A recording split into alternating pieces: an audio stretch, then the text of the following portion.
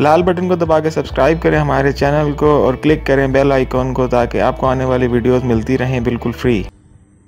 The Mill on the Floss, George Eliot ने लिखा है।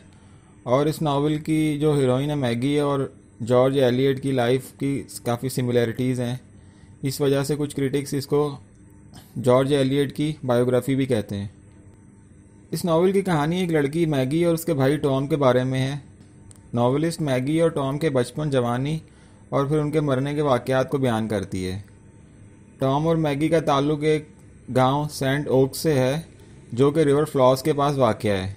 यह स्टोरी 1820 के पस मंज़र में लिखी गई है और 10 से 15 साल के दौर पर फैली हुई है। इसी दौरान टॉम और मैगी बचपन से जवानी में कदम रखते हैं। नावल के इब्तदाई चंद चैप्टर्स मैगी और टॉम के बचपन के हवाले से हैं। मैगी एक जज्बाती और सेंसिटिव लड़की है और अपने भाई टॉम से बहुत मोहब्बत करती है। लेकिन टॉम एक हकीकत पसंद लड़का है और मैगी के जज्बात को नहीं समझता। इसी वजह से इनकी पर्सनैलिटीज़ का क्लैश शुरू होता है और आखिरकार इनकी ट्रेजिक मौत हो जाती है। मैगी को अक्सर तनकीद का सामना करना पड़ता है। उसकी माँ और दूसरे रिश्तेदार उसे एक गुस्ताख लड़की समझते हैं। मैगी क्योंकि अपने भाई से मोहब्बत करती है, इसलिए उसकी पूरी तवज्जो अपने भाई की तरफ़ ही होती है। लेकिन उसका भाई टॉम उसे इतनी इंपॉर्टेंस नहीं देता और हर वक्त डांटता रहता है। और एक मौके पर जब वो अपनी कज़न लूसी पर ज़्यादा तवज्जो देना शुरू करता है तो मैगी गुस्से में लूसी को गोबर में फेंक देती है। तनकीद से बचने के लिए वहाँ से भाग जाती है। जब उसे भूख और प्यास लगती है तो उसका बाप उसे एक बुरी हालत में घर वापस लाता है। इसके बाद इनकी फैमिली को काफ़ी सोशल और माली मुश्किल का सामना करना पड़ता है। टॉम को अपनी एजुकेशन छोड़नी पड़ती है। और वो सख्त मेहनत करता है ताकि अपने ख़ानदान को सपोर्ट कर सके। दूसरी तरफ़ मैगी अपने बाप के दुश्मन वैकम के बेटे फिलिप से दोस्ती कर लेती है। फिलिप वैकम एक कुबड़ा लड़का है, लेकिन वो फाइन आर्ट्स और फिलासफी में काफ़ी दिलचस्पी रखता है। और मैगी उसकी इंटेलिजेंस से मुतासर होती है। जब टॉम को पता चलता है तो वो मैगी को फिलिप से मिलने से मना कर देता है। और मैगी अपनी ख्वाहिशात को कुचलते हुए उसकी बात मान लेती है।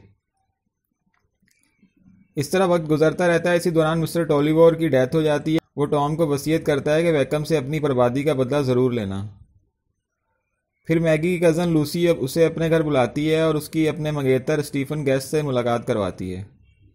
स्टीफन गेस्ट एक खूबसूरत नौजवान है और मैगी उसकी खूबसूरती से काफ़ी इम्प्रेस हो जाती है। यहाँ मैगी की मुलाकात दोबारा फिलिप वैकम से होती है। क्योंकि वो स्टीफन गेस्ट और लूसी का दोस्त है। फिलिप उससे मोहब्बत का दोबारा आगाज़ करना चाहता है, लेकिन मैगी स्टीफन से ज़्यादा इम्प्रेस हो जाती है।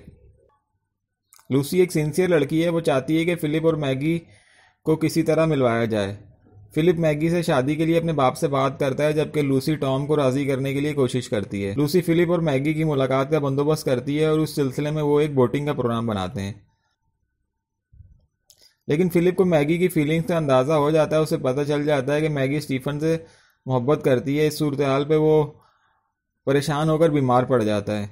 इसलिए वो स्टीफन को पैगाम भिजवाता है कि लूसी और मैगी को बोटिंग के लिए ले जाए। लेकिन लूसी चाहती है कि फिलिप और मैगी मुलाकात करें, इसलिए वो भी नहीं आती। इस तरह स्टीफन और मैगी ना चाहते हुए भी अकेले बोटिंग पर चले जाते हैं। स्टीफन और मैगी अनजाने में बहुत दूर निकल जाते हैं और इस तरह वो सैंड उग से दो दिन बाहर रहते हैं। मैगी बदनामी के खौफ से परेशान होती है। स्टीफन मैगी को शादी की पेशकश करता है, लेकिन मैगी उसे रिफ्यूज़ कर देती है। दरअसल मैगी अब इस वक्त काफ़ी परेशान होती है। वो सोच रही होती है कि स्टीफ़न से शादी करके वो फिलिप और लूसी दोनों से बेवफाई करेगी। इस तरह वो स्टीफ़न से शादी किए बगैर सेंट वापस आ जाती है। उनकी गैर मौजूदगी में लोग गाँव में काफ़ी बातें करते हैं। जब वो घर आते हैं तो टॉम मैगी को घर से निकाल देता है ताकि दुनिया को दिखा सके कि वो एक गैरतमंद भाई है। चनाचा मैगी अपनी माँ के साथ टॉम के दोस्त बॉब जैकिन के घर आ जाती है और जो इन्हें अपने यहाँ पना देता है। मैगी कस्बे के पादरी डॉक्टर कैन से दरख्वास्त करती है कि वो उसे कोई नौकरी दिला दे। इसलिए वो उसे अपने बच्चों की गवर्नेंस रख लेता है।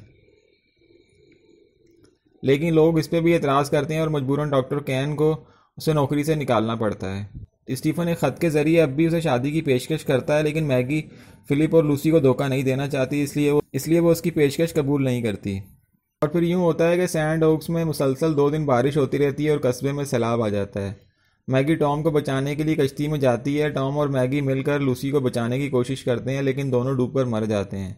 इस तरह वो ज़िंदगी में तो दोनों इकट्ठे नहीं हो सकते थे, लेकिन मरकर दोनों बहन भाई इकट्ठे हो जाते हैं।